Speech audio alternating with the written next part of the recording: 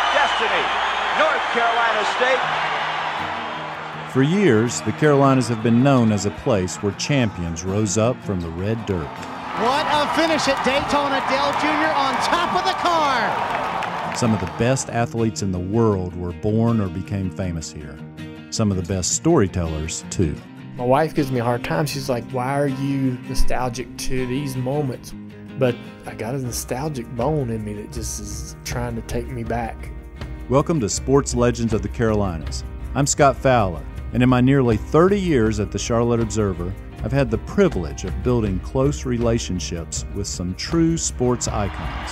Our college basketball analyst Jay Bilas joining us live. Some real legends must have turned you down if you had to scrape the bottom of this barrel to get me. From small town boys who became Super Bowl champs. Tell people, Scott, all the time, I got to play with Joe Montana, Steve Young, Brett Favre, Jim Everett. I should have better numbers. Two athletes following in the family business of greatness. Using lessons learned from his father, it's going to be Dale Earnhardt Jr. Dad was always a ceiling to protect me, and that was gone. I'm seeking out some of my very favorite sports figures and hearing their untold stories about their paths to becoming legends. Muggsy Bogues scoring. From my ninth and tenth grade, I was five three and I never grew. You know, we were the five foot family, as I call us. These aren't just interviews.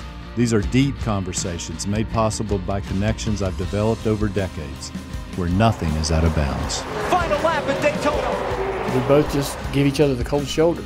And if I could talk to that version of myself, I would slap the shit out of him.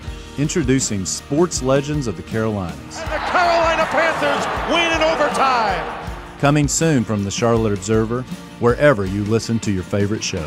North Carolina with a national championship.